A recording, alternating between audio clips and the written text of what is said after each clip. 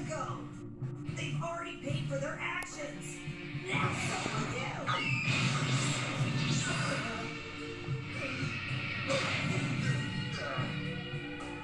You don't have a chance.